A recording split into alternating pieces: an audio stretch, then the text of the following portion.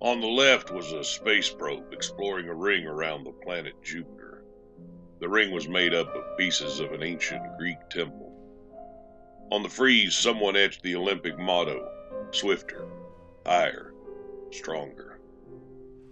It was painted for the 1984 Olympics here in LA. The artist's name is John Wehrle. He painted another mural in Venice Beach before painting this one. That one also got ruined. Not by vandals, but because he used the wrong kind of paint. He learned his lesson and painted this one with a really long lasting paint. It was supposed to last a hundred years, but then these idiots tagged all over it.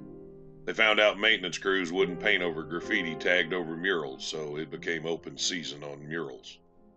They tried restoring the mural a few times over the years. At one point, they even hung a banner over the work, but that got stolen too.